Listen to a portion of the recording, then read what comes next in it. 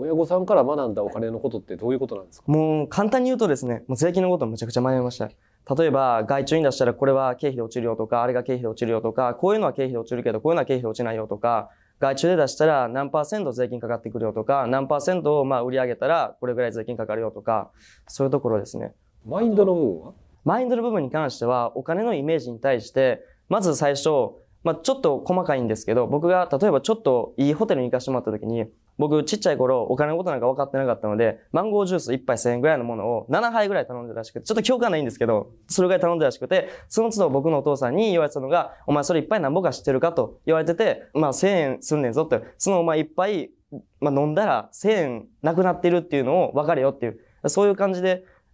なんていうんですかね、そのお金の価値ということを教えてくれたのかなっていうふうに思います。